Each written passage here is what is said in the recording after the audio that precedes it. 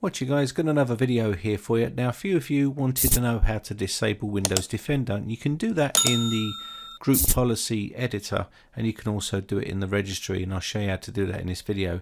Now normally when you open up the uh, Windows Defender here what will happen is uh, it will start to uh, turn itself back on like so. So if you're running this here and you want to disable this completely and you don't want it running then I'll show you how to do it.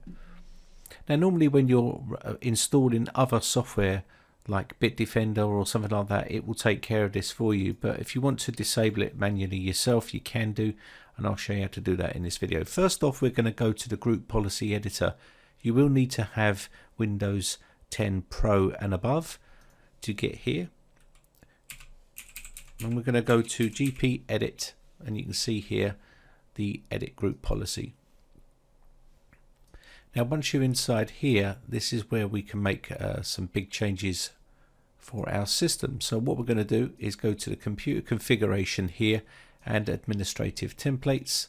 Open this up, Windows components, come down here and you will see inside here Windows Defender. So you can see here Windows Defender uh, antivirus. So let me just pull this open here.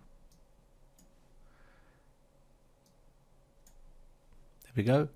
And uh, if you see down on this side here on the right hand pane once you click on the Windows Defender antivirus you will see turn off Windows uh, Defender antivirus. You can see it's not been configured but if you want to you can double click on this and you can then uh, enable this feature and this will then disable uh, that feature for you so you just click apply and click OK and uh, once you've done that, that, that will uh, then uh, put that in place and you will then have uh, no uh, Windows Defender, it will be disabled. So let me just uh, reverse this so I can show you another way of doing things.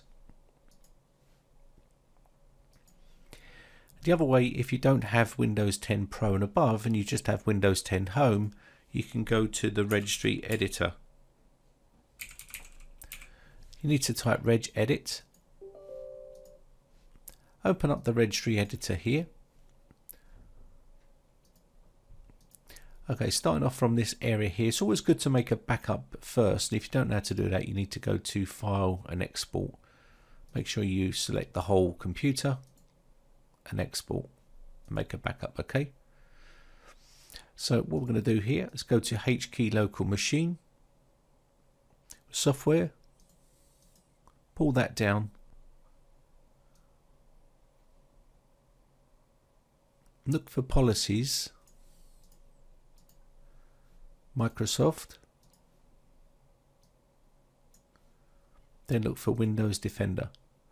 And you can see inside Windows Defender we have no um, registry keys on here to set in place. So what you need to do here if you don't see uh, disable anti-spyware then you need to add that in. So all we need to do here is go new dword 32-bit value make sure you're selected on the Windows Defender okay?